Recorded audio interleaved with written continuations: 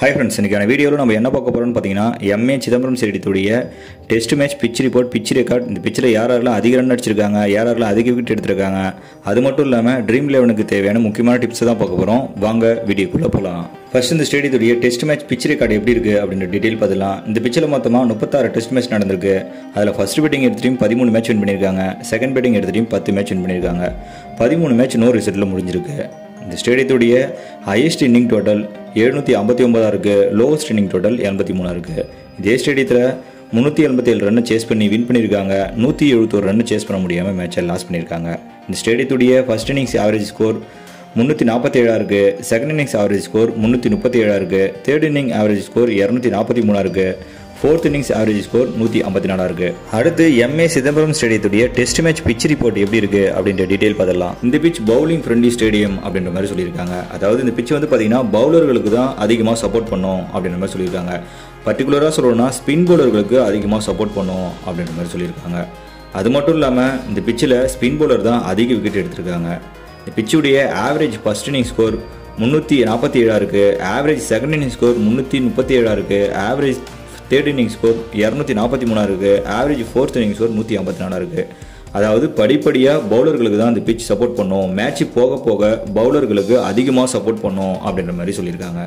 அடுத்து எம்ஏ சிதம்பரம் ஸ்டேடியத்தில் லேட்டஸ்ட்டாக நடந்த மூணு டெஸ்ட் மேட்சுடைய கம்பேரிசன் எப்படி இருக்குது அப்படின்னு டீட்டெயில் பார்த்துலாம் மொத்தமாக மூணு மேட்ச்சில் ஃபர்ஸ்ட் பேட்டிங் எடுத்த டீம் ஒரு மேட்ச் வின் பண்ணியிருக்காங்க. செகண்ட் பேட்டிங் எடுத்த டீம் ரெண்டு மேட்ச் வின் பண்ணியிருக்காங்க. இந்த பிச்சில் ஸ்பீட் பவுலர் மொத்தமாக மூணு மேட்ச்சில் முப்பத்தி மூணு விக்கெட் எடுத்திருக்காங்க. ஸ்பின் பவுலர் எழுபத்தி ரெண்டு விக்கெட் எடுத்திருக்காங்க. இதில் ஸ்பீட் பவுலர் ஃபர்ஸ்ட் இன்னிங்ஸில் பன்னெண்டு விக்கெட் எடுத்திருக்காங்க. செகண்ட் இன்னிங்ஸில் பத்து விக்கெட் எடுத்திருக்காங்க. தேர்ட் இன்னிங்ஸில் அஞ்சு விக்கெட் எடுத்திருக்காங்க. ஃபோர்த் இன்னிங்ஸில் ஆறு விக்கெட் எடுத்திருக்காங்க. இந்த விக்கெட்டுடைய டைப் பார்த்தாலே உங்களுக்கு தெரியும். இன்னிங்ஸ் போக போக ஸ்பீட் பவுலர்களுக்கு இந்த பிச் சப்போர்ட் பண்ணுறது கம்மியாகுது. அடுத்து ஸ்பின் பவுலர் மொத்தமாக எழுபத்தி ரெண்டு விக்கெட் எடுத்திருக்காங்க. அவங்க ஃபர்ஸ்ட் இன்னிங்ஸில் பதினேழு விக்கெட் எடுத்திருக்காங்க. செகண்ட் இன்னிங்ஸில் பதினேழு விக்கெட் எடுத்திருக்காங்க. தேர்ட் இன்னிங்ஸில் இருபத்தி நாலு விக்கெட் எடுத்திருக்காங்க. ஃபோர்த் இன்னிங்ஸில் பதினாலு விக்கெட் எடுத்திருக்காங்க. இந்த விக்கெட் டேக்கிங் டைப் பார்த்தாலே உங்களுக்கு தெளிவாக தெரியும். மேட்ச் போக போக ஸ்பின் பவுலர்களுக்கு இந்த பிச் அதிகமாக சப்போர்ட் பண்ணுது அப்படின்ட்டு. அடுத்து இந்த ஸ்டேடியத்தில் மோஸ்ட் விக்கெட் மோஸ்ட் ரன் யார் அடிச்சிருக்காங்க அப்படின்ற டீட்டெயில் பார்த்துலாம் இந்த டீட்டெயில் வந்து பார்த்தீங்கன்னா நம்ம டாப் ஃபோர் மட்டும் தான் எடுத்திருக்கோம். அது மட்டும் இல்லாமல் இப்போ கரண்ட்டாக விளையாடி இருக்கிற பிளேயர் மட்டும் தான் நம்ம எடுத்திருக்கோம்.